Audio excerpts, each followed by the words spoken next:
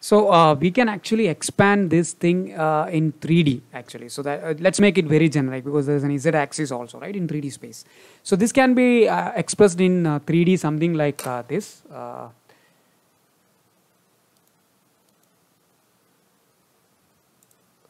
okay, so let me just put it this way.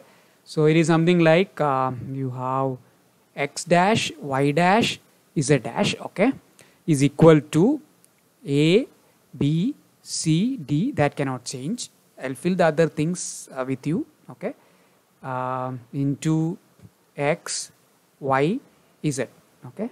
Because you have three dimensions plus Tx, Ty, and this has to be 0 because I am not going to put translation. Now let's put these numbers in. Okay. So what x dash is? x dash is a into x plus b into y plus this into z. So this has to be 0 right? And similarly y dash is c into x plus d into y plus this guy into 0 so this is 0 into z. So perfect.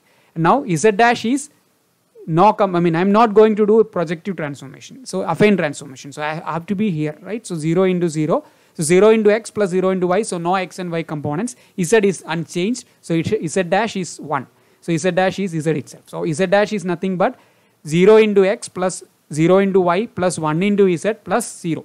So that means z dash is nothing but z.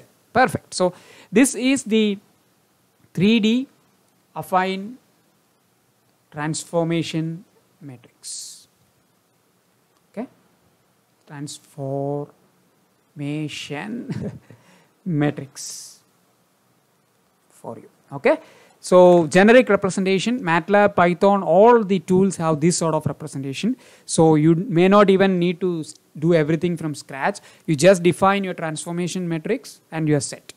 Excellent. So that's it. So next uh, uh, lecture, we will actually have detailed expression, I mean detailed demo on affine and uh, pro probably projective transformation and the use cases. Okay.